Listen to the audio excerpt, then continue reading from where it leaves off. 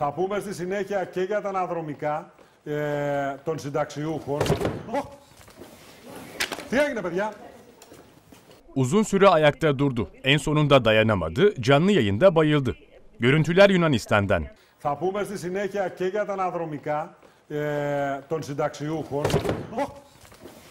Moderatörlük yapan sunucu video bağlantı yayınında yüksek topuklu ayakkabılarla dakikalarca bekledi. Bu bekleyiş sırasında tansiyonu düştü. Bir iki kere sallanan kadın sonucu en sonunda yenik düştü. Fenalaşan kadın bayılarak yere yığıldı. Yanındakiler yardımına koşarken kameralar fondaki görüntüye çevrildi.